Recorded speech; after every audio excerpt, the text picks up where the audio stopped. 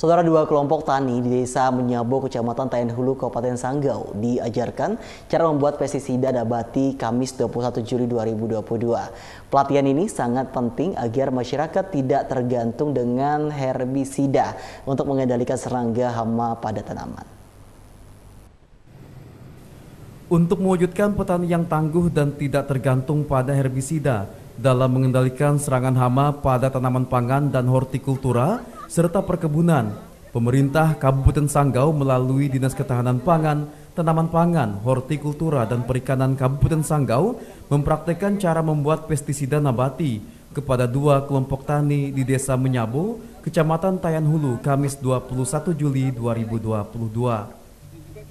Dua kelompok tani tersebut adalah kelompok tani Setia Maju dan Jambu Mente. Bahan alami untuk membuat pestisida nabati sangat mudah ditemukan, yaitu kulit jengkol, daun sirsak, lengkuas, tembakau, dan sabun colek. Kepala Bidang Tanaman Pangan Dinas Ketahanan Pangan, Tanaman Pangan Hortikultura dan Perikanan Kabupaten Sanggau, Yusmayani mengatakan, pestisida nabati ini tidak meninggalkan residu pada tanaman dan lingkungan sekitar.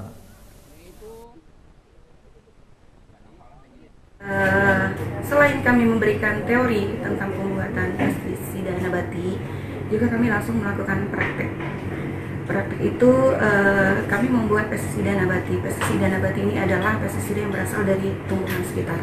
Dan untuk bahannya sangat, ditemu, sangat mudah ditemukan, ada di sekitar kita.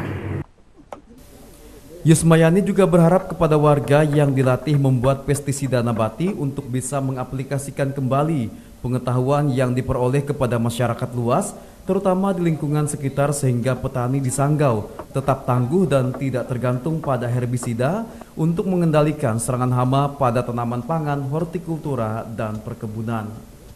Dari Kabupaten Sanggau, kontributor YTV Bobi Rianto mewartakan.